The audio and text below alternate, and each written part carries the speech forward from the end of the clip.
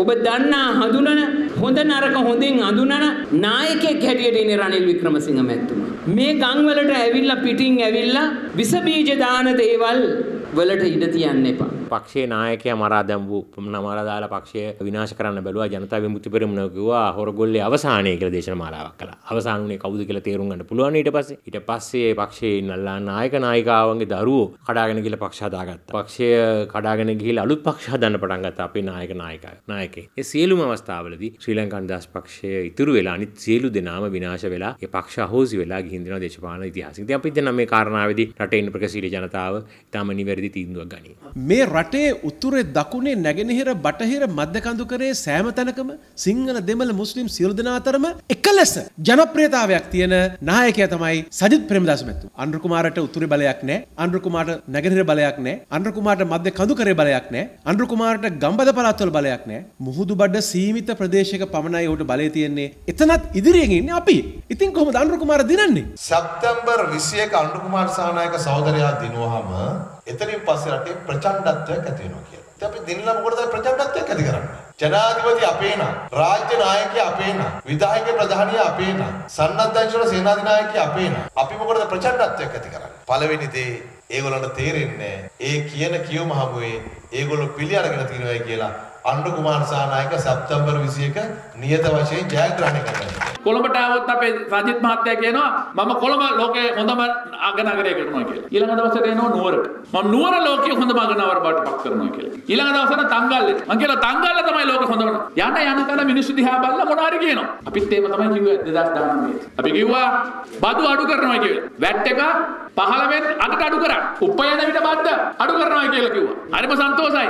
පුඩි ගැව්වා. හැබැයි අවුරුද්දක් යනකොට තමයි අපිට තේරුනේ මොකද්ද මේ වෙන්නේ කියලා. හොඳ ડોක්ටර් කෙනෙක් අපිට බෙහෙත් දීලා මේකෙන් හොඳට පිළියම් යෙදෙනවා නම් මේ වෙලාවේ දොස්තර මාරු කරලා වෙන දොස්තර කෙනෙක් ආවට යනවද? මේ වෙලාවද දොස්තර මාරු කරන්න? ඇයි ඉවසගෙන ඉන්න බැරි? ජනතා විමුක්ති පෙරමුණ පිළිබඳව දකුණු පළාත් හැර අනිත් පළාත්වල එතරම් ලොකු ප්‍රතිශතයකින් ඡන්ද ගැනීමේ ප්‍රවණතාවයක් නැති බව අපිට පෙනී යනවා. අපි හැමතැනම ඉදිරියෙන් සිටිනවා කියන එක අපිට ස්ථිර වශයෙන් කියන්න පුළුවන්. ඒගොල්ලෝ සමාජ මාධ්‍ය හැසිරවීමේ කලාව හරහා මේක මවා පෙන්නනවා. ඒක විතරයි. නමුත් බිම් මට්ටමේ ඔවැනි ලොකු ප්‍රවණතාවයක් අපි දකින්නේ නැහැ. කෙනෙක් බාර අරගෙන දැන් 175 ගොඩදාගෙන ඉස්සරහට යනවා. මම හිතන්නේ මේ අර මියගේ ලෙඩාගේ පුනර්භවයට දැන් ශ්‍රී ලංකා මහතාවගේ කතා කරන්න කියලා මට හිතෙනවා මේ මේ කතා කරන ආකාරයට. දැන් ඒ විදිහට මේ ලෙඩා මැරෙන්න හැරියානම් මේ වෙනකොට මැරෙලා ඉතින් දේශපාලන විහිළු කියලා තමයි අපිට දකින්න ලැබෙන්නේ. කොච්චර උගත් මහත්තුරු කරා වුණත් මේ රට බාර ගන්න තිබුණේ. ඔය බ්ලූප්‍රින්ට් 3.0 ඉදිරිපත් කරන්න තිබුණේ මේ රටේ දෙකෝටි 20 ලක්ෂයම බේරගන්න ඊට අවුරුදු දෙකකට ඉස්සෙල්ලා. සජිත් ප්‍රේමදාස කවදාකවත් අපිට අභියෝගයක් වුණේ නැහනේ. සජිත් ප්‍රේමදාස අම්බන්දොට අවුරුදු 30ක් දේශපාලනය කරා ඒක ආසනයක්වත් දිනා ගන්න පුළුවන් වුණාද?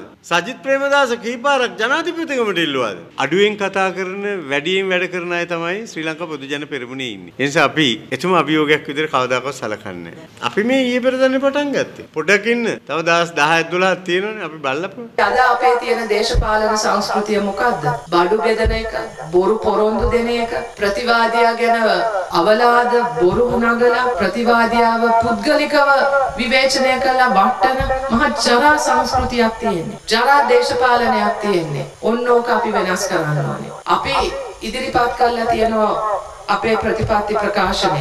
ටිකක් දිගයි. පිටු 200 ගානක් විතර තියෙනවා. ඒක තුල තියෙන්නේ පොරොන්දු මාලාවක් නෙවෙයි.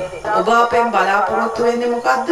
අපි ඔබට කරන්නේ මොකද්ද කියන එක ගැන පිළිබඳව තියෙන අපේ එකඟතාවය. මොකද අපි අද වෙනකොට රුපියල් 500 නෙමෙයි ඩීසල් ගහන්නේ. අපි 500 නෙමෙයි පෙට්‍රල් ගහන්නේ. අපිට ගෑස් සිලින්ඩර් එකක් ගන්න පුළුවන් පොලිමකින් නැතුව. අපිට බෙහෙත් අත්‍යවශ්‍ය ආහාර ද්‍රව්‍ය ටික තියෙනවා ලංකාවේ. එතකොට වේදිකාවක නැග්ග වෙලා ඉඳලා අනුර කුමාර දිසානායක සජිත් ප්‍රේමදාසගේ මේ රට බංකොලොත් කියලා. මේ රට ජනතාව අපහසුෙන් ජීවත් වෙන්නේ කියන එක. හැබැයි මේ රටේ ජනතාවත් එක්ක කතා කරපුවම ජනතාව කියන්නේ නෑ මේ වෙලාවේ මේ රට බේරගත්ත ලංකාව අපිට අමාරු වෙලා අපිව ගොඩදාගත්ත කරාරිය මගාරිය නැති නායකයෙක් තමයි රනිල් වික්‍රමසිංහ කියන්නේ. ඉතින් රනිල් වික්‍රමසිංහ මහත්මයාට මේ පාර අපි ඡන්දයක් දෙනවා කියන එක තමයි රටේ බහුතර මත වෙලා තියෙන්නේ. විශේෂයෙන්ම ගත්තාම සජිත් ප්‍රේමදාස අනුර කුමාර දිසානායක කියන දෙන්නටම වෙලා තියෙන්නේ මේ වෙලාවේ මේ පරාජය විදදරා ගන්න බැරුව අපි නාම රාජපක්ෂ මැතිතුමා මේ රටේ ජනාධිපතිතුමා කරවන්න අවශ්‍ය සියලු කටයුතු පොළොන්නරු දිස්ත්‍රික්කයේ විදියට කරනවා කියන එකත් මේ අවස්ථාවේ ප්‍රකාශ කරමින් ඉදිරි අනාගතයේ මේ රටේ බුද්ධමතුන් ගතුන් ඒක රාශි කරන මේ රටට දැවැන්තම කාර්යභාරය කරපු යුද්ධ නිමා කිරීම පමණක් නෙමෙයි යුද්ධ යුද්ධය නිමා කරලා ඇඟට දැනෙන රට්ට දැන්න සංවර්ධනය කරපු ශ්‍රී ලංකා පොදු ජන පෙරමුණ නැවතත් අපි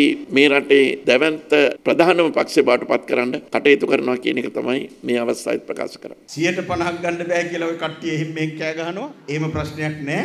සියයට පණහක් නෙමෙයි ලංකාවේ ඉතිහාසයේ මෙදා සැරේ නේද? දැන් ජනතාව කියන්නේ මාලිමාවට කෝටියක් මාලිමාවට කෝටියක් කියන්නේ සියයට 70කින් 80කින් අපි ජයග්‍රහණය කරනවා. අපිට පේනවා අනුරු කුමාර දිසානායක දිගින් දිගටම බොරු කියමින් ඉන්න. සජිත් රනිල් වික්‍රමසිංහයන්ට උඩින් ඉන්න හදනවා. නමුත් රනිල් වික්‍රමසිංහයන් හැමදාම උදේට සජිත් නැගිටලා බලන්නේ රනිල් මොනවද කිව්වේ කියලා. රනිල් වික්‍රමසිංහයන් මොන හරි කිව්වනම් ඒ කියපු දෙයට පොඩ්ඩක් ඉස්සරහින් ඉඳගෙන යමක් ප්‍රකාශ කරන එක තමයි සජිත්ගේ වැඩේ වෙලා තියෙන්නේ. රජිත් ප්‍රේමදාස රනිල් වික්‍රමසිංහයන්ගෙන් ඉගෙන ගනිමින් ඉන්නවා.